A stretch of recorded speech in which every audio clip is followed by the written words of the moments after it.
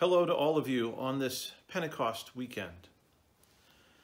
One of the challenges of recorded worship services is that by necessity, the recording happens days before the Sunday itself.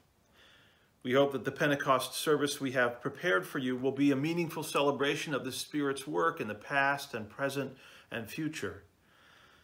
At the first Pentecost, as you know, the Spirit enabled the disciples to speak to and be understood by a diverse group of people who spoke a variety of languages.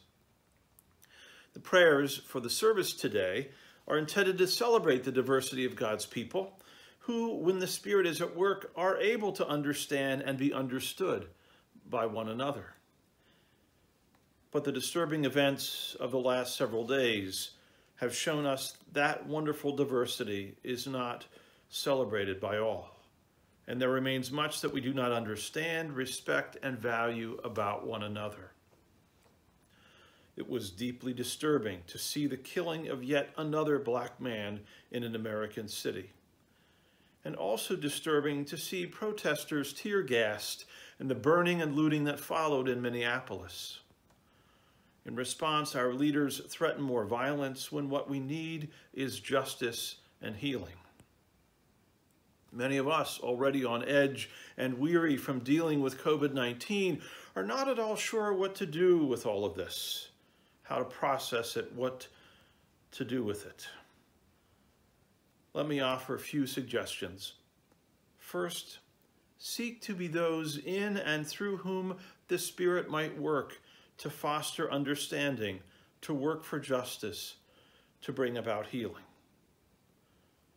Also, any friends that you have in the African American community, which community is feeling especially discouraged and vulnerable right now, Reach out to them with your understanding and support.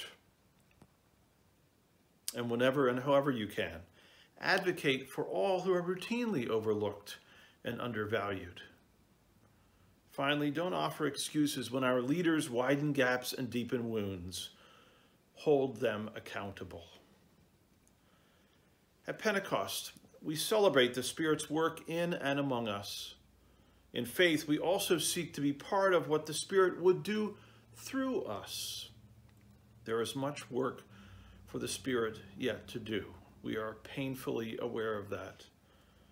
May we be among those through whom the Spirit does that work, so that our celebration of Pentecost is also for us a call to discipleship.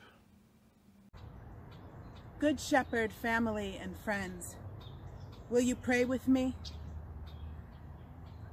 God of healing earth, of cleansing water, of purifying fire, and of honest air. You gave us reassurance on Pentecost that the Holy Spirit would always be with us and in us, and that we would never be alone. Help us take that love that care and that eternal presence and learn how to live it outward in ways that are faithful, that are brave and bold and kind. Help us walk aside those who you loved most of all, the marginalized, the poor, the weak, and those in need. We especially pray for the families of Ahmaud Arbery, Breonna Taylor, and George Floyd. Be with them. Be with the communities that are burning. Be with those who are afraid, who are frightened, alone, sad, despairing, hopeless, or confused. God, walk with us through this time. Lead and inspire our hearts so that we can follow the path you would have us follow, so that we can know how to love and how to inspire in the world the kind of compassion that you show us. In Jesus' name, Amen.